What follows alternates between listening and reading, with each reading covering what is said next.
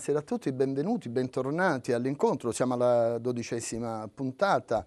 L'incontro è una trasmissione realizzata in collaborazione con la testata giornalistica Napoli News Magazine ed è una etichetta Ager Campanus.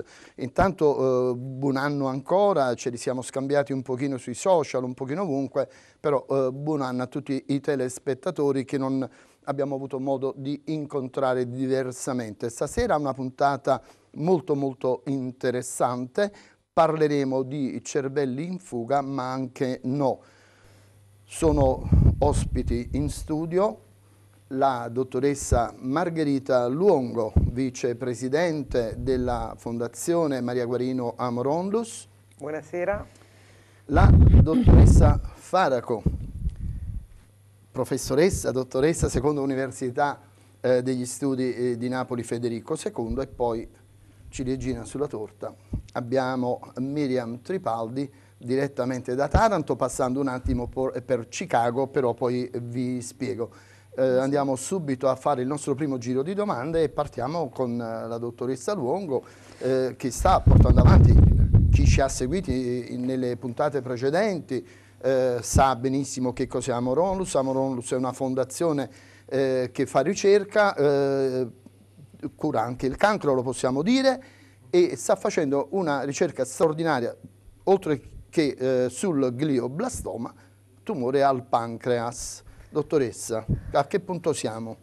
Allora, eh, buonasera a tutti e grazie per questo invito stasera con voi.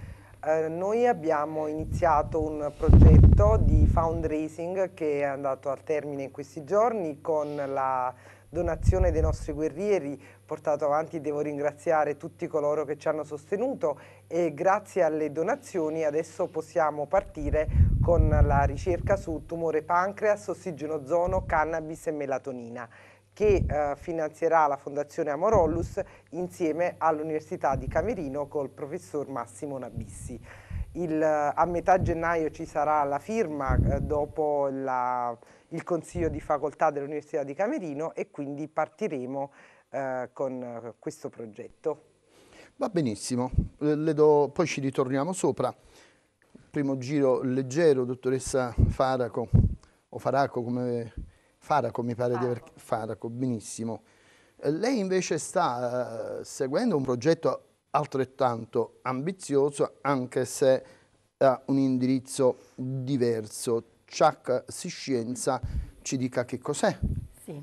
Eh, buonasera, innanzitutto grazie per uh, questo graditissimo uh, invito e buon anno a tutti. Uh, Ciaxi Scienza è un'iniziativa no profit di divulgazione scientifica e sensibilizzazione ambientale eh, che realizzo all'Università di Studi di Napoli eh, Federico II dove sono eh, docente eh, di chimica e biotecnologia eh, delle fermentazioni e svolgo eh, ricerca da circa 20 anni ormai nel settore, nei settori della chimica verde, c'è una chimica finalizzata alla protezione dell'ambiente, alla bioeconomia, quindi bioeconomia che significa utilizzo di materie prime rinnovabili, economia circolare particolare utilizzo di rifiuti come materie prime, tutte attività eh, che eh, sono finalizzate ad una eh, ricerca per produzione industriale ecocompatibile. Non scopriamo tutte le carte. Va bene.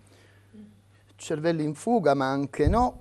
Miriam, lei eh, non è in fuga, lei ha, ha, girato un pochino tutte le università, ha addirittura appese al muro tre bellissime pergamene, eh, quindi Roma, Berlino, San Pietroburgo, Chicago, manca qualcosa o le ho dette tutte? Um, Dresda. Dresda, Anni ecco, fa. mi mancava Dresda, ho, ho dato una sbirciata al suo curriculum. Allora, diciamo ai nostri telespettatori lei chi è, che cosa fa, ci vorrebbe un sacco di tempo, però so che lei ha potere di sintesi, oltre che musicale, quindi... Sì, uh, sono um, una musicologa e russista, traduco. Um, sto completando due dottorati di ricerca, finisco fra un mese, um, a Chicago appunto, e mi occupo di cioè musicologia uh, e uh, letteratura e cultura russa. E, um, in particolare mi occupo di, dello studio dell'opera, della scuola napoletana, del Settecento quindi, e presso uh, la corte di Caterina II, e, quindi fine Settecento e subito dopo, inizio Ottocento. Quindi sul... Importantissimo col Napoli no, storico, sì, sì, eh, Regno delle due Sicilie, se non ricordo male. Assolutamente sì. Uh, tra l'altro, eh, infatti, nella mia ricerca mi occupo non solo, è molto interdisciplinare, mi occupo comunque non solo della, della parte musicale, del, dello studio delle opere uh, dei compositori come Domenico Cimarosa, Giovanni Paisiello, Paisiello, per esempio. Che fa autore di un inno importantissimo, se eh, non ricordo male. Inno borbonico, per esempio, sì, certo. E, ehm, ma mi occupo anche di, uh, di diciamo, di, diciamo, questi... questi della, della, parte politica, proprio perché appunto eh, si pensa che... Quindi è uno studio storico-politico musicale? Musicologico, storico-politico, sociologico, sì, è molto, sì, la, diciamo, la scusa è l'opera, la musica, ecco queste opere, ma c'è dietro molto di più appunto i rapporti politici, eh, i rapporti diplomatici per esempio, eh, non solo culturali, e, eccetera. Quindi... Noi abbiamo parlato di cervelli in fuga, ma anche no, lei tornerà da Chicago, presumo? Sì, io voglio tornare. Dopo, dopo tanti anni eh, ho fatto un po' l'Ulisse, diciamo così, mi sento un po' come Ulisse. Mi sono fermata in, varie, in vari posti, ho studiato moltissimo fuori, anche prima di andare a Chicago e adesso ho voglia di tornare. Eh. Quindi non si è fatta incantare dal canto delle sirene? Assolutamente. Eh, dottoressa Luongo, dottoressa Luongo eh, a noi sta particolarmente a cuore quello che fa non tanto lei personalmente che sappiamo fa una vitaccia perché di notte fa turni incredibili, eh, Capodanno ha fatto nascere sette bambini, io ricordo male, e tra l'altro il primo nato a mezzanotte e un, un, minuto. Un minuto. Sì. Ragazzi, è un, è un, record tutto campano, la famiglia era di Ottaviano. Ci, che è successo quella notte? Stavate facendo il, che stavate facendo? Vabbè, ovviamente anche eh, in ospedale comunque si cerca nella possibilità di festeggiare, di brindare. E I ragazzi di turno, i medici? Sì, medici, infermieri, insomma eravamo una quindicina di persone. Alle 23.30 ci chiamano dal pronto soccorso perché è arrivata questa urgenza di questa donna con travaglio in atto, essendo un anestesista rianimatore e quindi abbiamo dovuto fare un cesario purtroppo perché anche se la signora eh, comunque era in lista per un parto naturale, però ha avuto una sofferenza fetale e quindi eh, c'era indicazione di cesario. E il caso ha voluto che il piccolo Simone è nato proprio alle 00 un minuto quindi diciamo forse... record nostro sì, non forse... Bologna come ha detto il resto del Carlino. Non infatti so io ci ho fatto un articolo bellissimo nato, sì ho letto non so se sia il primo nato d'Italia ma sicuramente di Napoli e della Campania sì. Poi insomma... Vabbè, è un primato, è un primato, è un però primato. non, volevamo parlare di questo, era giusto per smorzare un pochino perché noi parliamo di tumore quando parliamo purtroppo, della, eh, purtroppo tra eh, virgolette della Fondazione Maria Guarino Amoronlus, eh, 600 pazienti che eh, in eh, osservazione in cura, però pare che stiano aumentando e pare che ci sia una controtendenza, dal nord vengono a curarsi al sud. Questa è veramente una novità. Noi stiamo parlando di cervelli e qua abbiamo tre bellissimi cervelli, oltre che belle donne, tre bellissimi cervelli. Vada, dottoressa. La Fondazione Amoronlus eh, si interessa del sostegno delle cure in regime gratuito perché siamo una no profit ai malati oncologici in associazione alle chemio, radio immunoterapie e oggi eh, dagli ultimi studi pubblicati su PubMed si è verificato proprio PubMed, perché PubMed è una, diciamo, è una biblioteca mondiale dove ad oggi ci sono sì, tutte, tutti gli studi scientifici e quindi quelli diciamo, che hanno una validità. Ehm, e appunto si sta verificando come le sostanze naturali, noi facciamo uso di integratori, le sostanze naturali da, hanno delle grosse efficacie. Ci sono piante, che, comunque estratti piante, che hanno un'attività antinfiammatoria, analgesica e quindi utilizzando, essendo il cancro una malattia multi-target, dove vi sono molti fattori, tra quelli ambientali, l'inquinamento, l'alimentazione, fattori psicologici, eh, fattori ovviamente genetici, predisposizione, malattie croniche, con l'ossigenozono, le terapie integrate, l'alimentazione, noi tentiamo di trattare in maniera multitarget adiuvante alle chemio, l'immuno e le radioterapie e dare un sostegno ai nostri pazienti, ai nostri guerrieri.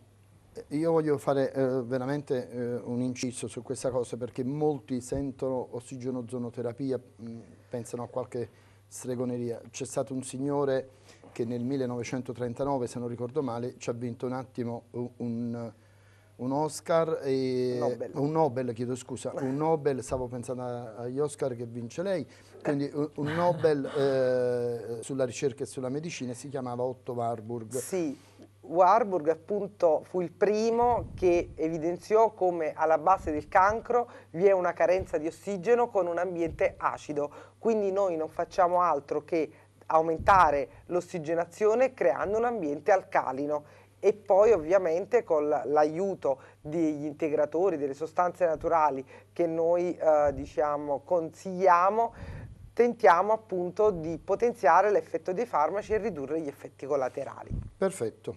Faraco, voi fate, una, voi fate una cosa bellissima perché anche di, tutti gli ospiti che io poi porto in trasmissione, io li seguo, li vado un attimo a monitorare e, e verifico lei fa una cosa veramente straordinaria, ma non è un po' troppo ambizioso affermare salvaguardia del pianeta?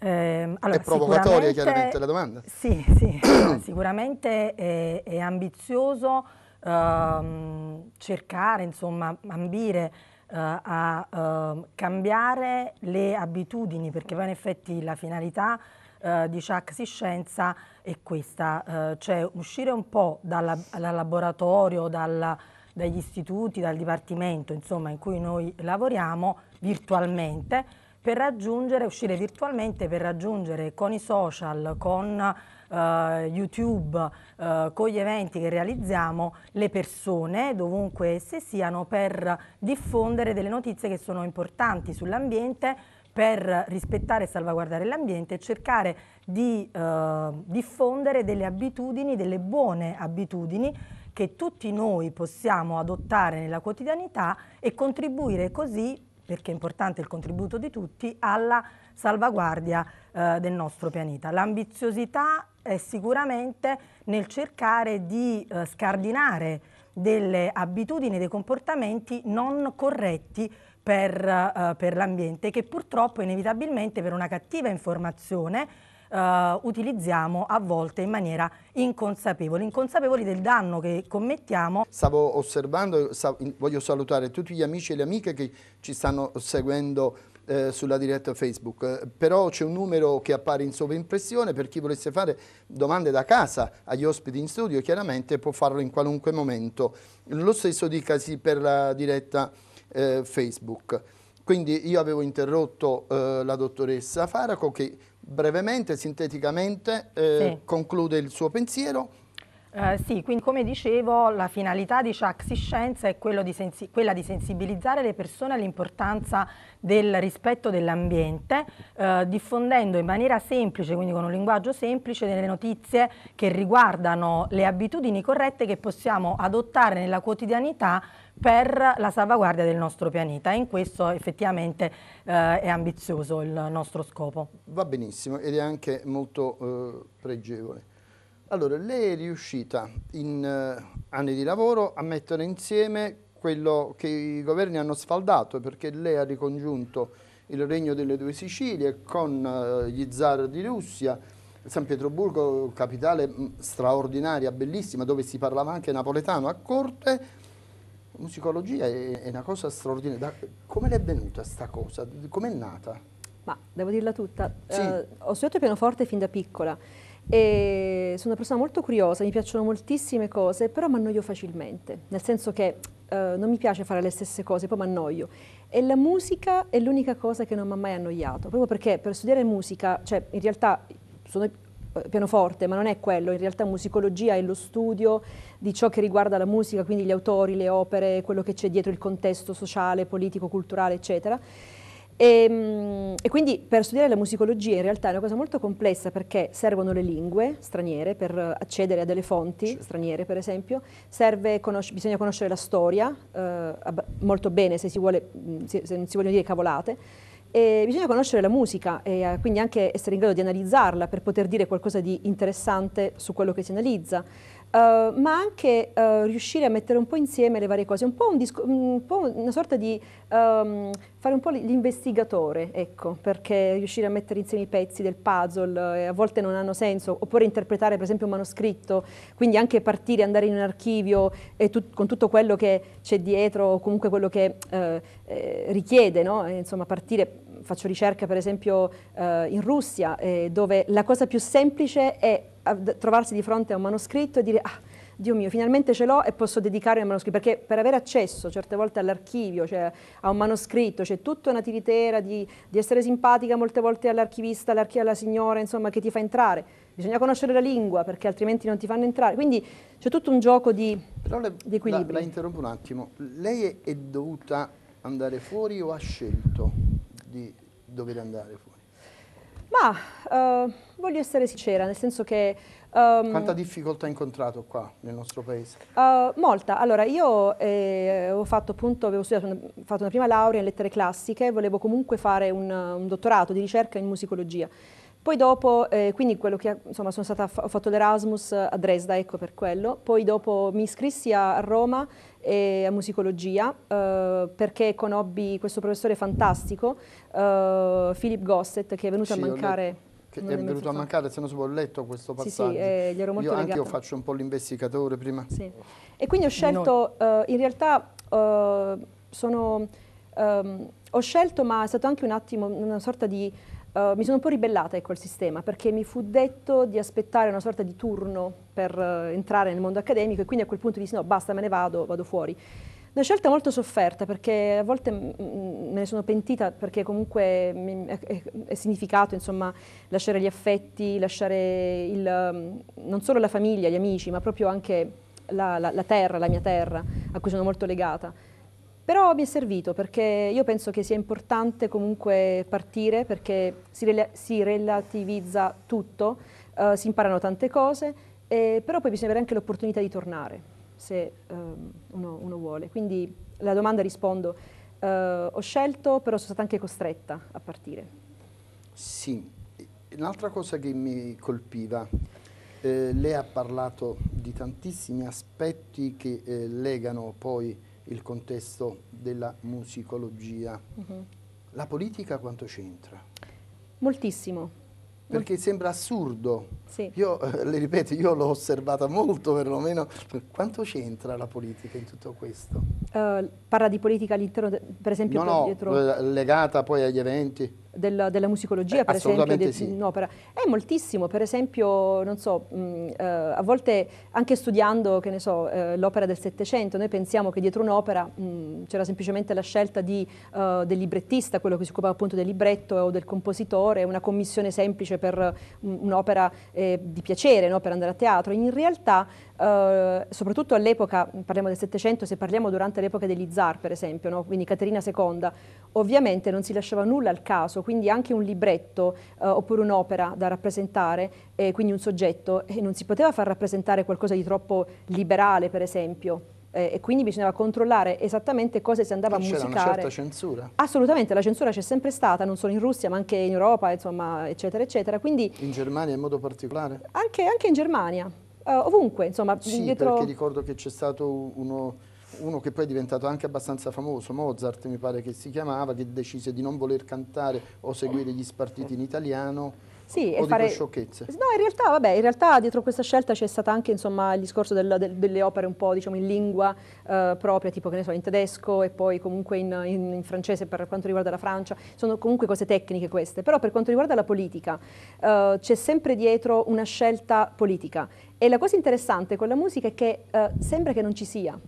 Quindi eh, sembra una cosa così, dice ah che bella quest'opera, invece studiando l'opera, studiando soprattutto gli eventi, il contesto, si viene a conoscenza di uh, quello che magari un'opera simbolicamente voleva rappresentare, ma anche insegnare uh, a livello subliminale, per esempio, oppure trasmettere al pubblico, tenendo conto sempre che un pubblico eh, non era il pubblico come intendiamo noi, per esempio il pubblico dell'epoca di Caterina II, uh, se si parla dell'Ermitage, questo piccolo teatro eh, privato della, della, della è Zarina. questa cosa di Verdi, Vittorio Emanuele, Re d'Italia? Sì, sì, è vero, insomma si usava come acronimo per, per dire appunto Viva Verdi, eh, Re Vittorio, cioè Viva Vittorio Emanuele Re d'Italia, sì, si utilizzava Verdi, si, insomma.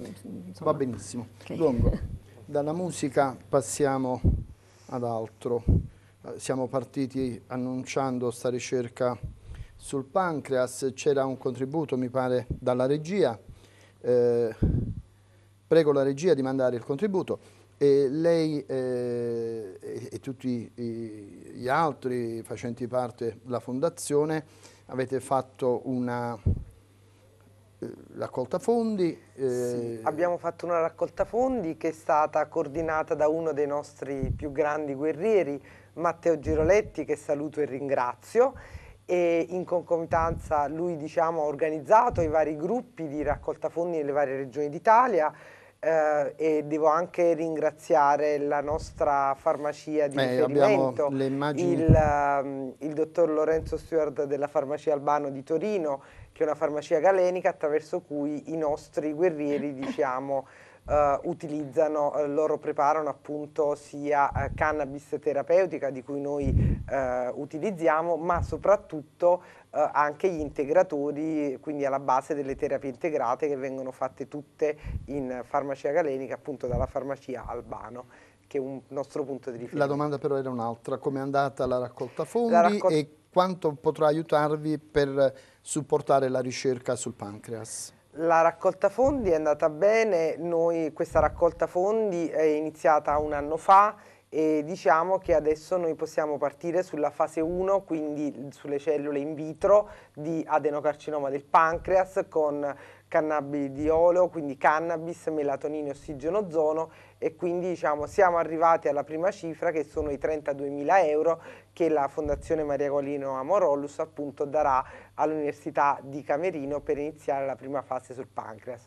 Questa ricerca sarà dedicata ai nostri due angeli, a Claudio e Michele e poi se avremo sostegno da parte dei soci e anche speriamo da parte Noi della, lanciamo un appello affinché eh, delle, anche con il 5 per 1000 il 5 per 1000 ma soprattutto Noi lo diciamo in ogni puntata questo, eh, lo voglio ricordare. Delle istituzioni, ascoltavo prima la professoressa Farago che diceva appunto che oggi è difficile avere chi aiuta da parte del sistema e anche noi non abbiamo mai avuto sostegno da parte delle istituzioni, speriamo col tempo di averlo, accesso a progetti che possano appunto finanziare la ricerca perché c'è tanto da studiare, solo la ricerca può dare delle risposte effettive ai nostri guerrieri. Perfetto, e proprio parlando di iniziative, eh, io la data esatta non la ricordo, professoressa Faraco, anche lei è stata artefice di una bellissima iniziativa che avete fatto, credo, fra Natale e Capodanno, se non ricordo male. Um, allora, l'iniziativa uh, più importante che abbiamo realizzato no, proprio in uh, questi giorni a mio avviso per Ciaxi Scienza è stata realizzata il 24 novembre uh, prima che ci conoscessimo fondamentalmente e, um, che insomma, abbiamo realizzato nell'ambito della settimana dell'UNESCO di educazione alla sostenibilità che quest'anno aveva questa... il tema fuori dalla plastica Uh, perché Ciaxi Scienza ha voluto uh, iniziare, abbiamo voluto iniziare le attività del uh, nostro canale che è molto giovane, è nato il 4 ottobre, oggi festeggiamo tre mesi di vita del canale, trattando l'emergenza della plastica, l'inquinamento della plastica che attualmente è molto grave, si prevede che nel 2050 i mari conterranno più plastica che esseri viventi. Io le volevo dire proprio questo a proposito de, eh, della plastica. È stata trovata una balena morta spiaggiata con ben 70 kg di plastica nello stomaco e una tartaruga eh, caretta con 7 kg. Una cosa allucinante, prego. Sì, il tema dell'inquinamento della plastica è davvero molto grave e eh, diciamo, infatti non è un caso che eh, i governi eh, di Europa, anche il governo italiano, eh, si siano eh, particolarmente mobilitati eh, in quest'anno nei confronti di questa eh, emergenza, che è un'emergenza globale perché appunto riguarda tutto il pianeta, esiste una isola, cosiddetta isola di plastica, in realtà esistono molte isole di plastica, che insomma in particolare quella dell'Oceano Pacifico che ha un'estensione pari a più di 5 volte quella dell'Italia, ma in realtà il problema ci riguarda tutti da vicino perché la plastica, eh, come eh, dicevo prima, eh, sta invadendo i nostri mari, poi entra anche nella catena alimentare, quindi eh, i pesci se ne alimentano, la, le microplastiche sedimentano nei mitili eh, e quindi di fatto poi noi ci alimentiamo eh, di plastica e questo ovviamente incide sulla, sulla nostra salute. Dottoressa Luongo, praticamente. Esatto. no, sembra una battuta, ma non lo è per niente perché sono prodotti altamente dannosi per la salute umana. Cosa bisogna fare secondo lei per tentare di educare allora, eh, ci dobbiamo preparare in maniera urgente a, uh, a, un cambiamento che ci deve riguardare tutti. Uh, il 28 maggio la Commissione europea ha proposto una direttiva che poi il 24 ottobre è stata votata all'unanimità dal Parlamento uh, europeo, la Single Use Plastics. C'è una domanda dalla, dalla, rete, mi scusi. Sì. Eh, esiste un'isola intera purtroppo fatta di plastica o da residui di plastica? Perché secondo lei non si recupera quella plastica, non si rimuove? Esiste... Mi chiedono dalla rete Lucia Di Rubbio, che salutiamo. Ciao Lucia. Sì, grazie della domanda Lucia, buonasera. Eh, esiste un progetto attualmente eh, che si sta realizzando, eh, Ocean Cleanup, eh, che eh, un giovane olandese, eh, poco più che ventenne, ha eh, messo in atto ed è partito ad ottobre. Eh, questo progetto si sta realizzando praticamente con dei convogliatori che nell'Oceano Pacifico, mh, vicino alla baia di San Francisco, sono partiti per sfruttare le correnti marine e fondamentalmente raccogliere la plastica eh, di questa enorme isola e poi utilizzarla. Quello che si prevede è di eh, smaltire, raccogliere nel corso dei prossimi cinque anni la metà della plastica che occupa l'Oceano Pacifico per poi riutilizzarla e realizzare eh, delle, ehm, dei materiali. Esistono comunque tantissime iniziative di riutilizzo eh, della plastica, esiste una marca, non, faccio, eh, non la cito per non pubblicizzare, di scarpe di ginnastica che attualmente sono in commercio e che vengono realizzate con il riciclo della plastica, eh, ma dobbiamo cambiare le nostre abitudini perché eh, non è normale che la plastica finisca in mare, ovviamente ovviamente, quindi è importante correggere le abitudini anche di utilizzo, bisogna ridurre il consumo dei monouso, quella direttiva che vi citavo proibisce alcuni monouso, piatti, posate, cannucce, mescolatori per bevande e aste per palloncino non potranno essere più commercializzate a partire dal 2021. Questa eh, proposta della Commissione europea approvata in Parlamento eh, sta andando ora al trilogo della, eh, tra Commissione e Parlamento, ovviamente gli Stati membri dovranno poi acquisirla. A partire dal 2021 non potremo più usare eh, mono, questi monouso, quindi è importante che ci prepariamo a cambiare le nostre abitudini rispetto a questo aspetto così importante perché intanto che Ocean Cleanup ripulisce l'Oceano Pacifico è importante che riduciamo l'utilizzo di plastica oltre ovviamente ad avere delle corrette abitudini anche nel conferimento della plastica riciclando ad esempio le bottiglie in PET, le bottiglie eh, d'acqua. Allora, Miriam, Miriam, mi scusi, eh, lei da grande cosa vuole fare? Io me lo stavo chiedendo mentre ascoltava, perché lei ha fatto praticamente tutto ciò che è possibile fare nel suo ambito professionale, o sbaglio? Uh, sì. O manca ancora qualcosina? Perché attualmente a, a Chicago sta facendo una cosa rilevantissima. Sì, sto, sto anche insegnando da, insegno da molti anni, in realtà insegno anche scrittura, cioè insegno ai ragazzi di madrelingua, appunto della, della laurea, come si scrive, a parte corsi comunque interdisciplinari di uh, musica, musicologia e storia della musica e letteratura, letteratura russa e politica, insomma così. E sto finendo adesso appunto questi due dottorati uh, parallelamente, insomma finisco adesso, cioè in, in quest'inverno. E, mm, e, poi niente, insomma, ho fatto tante altre cose. Da grande, da grande vorrei uh, ritornare a vivere in Italia, a Napoli.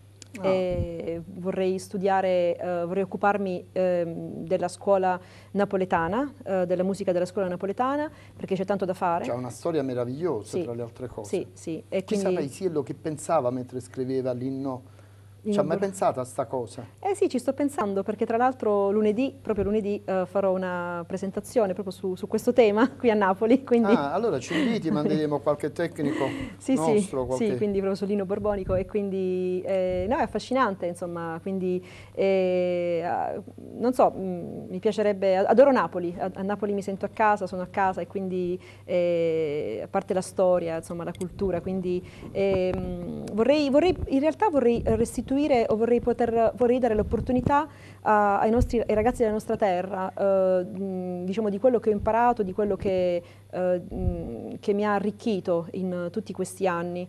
E... Noi siamo in chiusura, in una battuta proprio letta telegrafica ed è brevissima, a che punto siamo con Camerino?